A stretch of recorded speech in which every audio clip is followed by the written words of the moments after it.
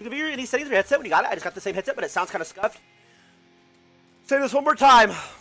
Get this headset. Number one, it needs broken in.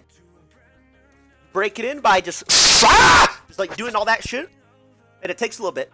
There's a piece that needs to break inside the mic. Okay, number one. Then you go to your settings. You open up your sound settings. Go to your sound control panel. Go to recording.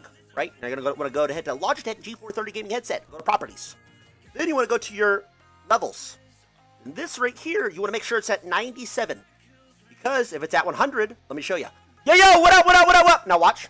Yo, yo, yo, what up, what up, what up, what up, what up? What up, boys? Can you hear me? You hear the difference? You see what I mean? It's it's a, it's a lot, bro. It's just that little fucking change does it, bro. So you gotta go back, then you gotta put it right back to 97. And when it's at 97, you're at the sweet spot.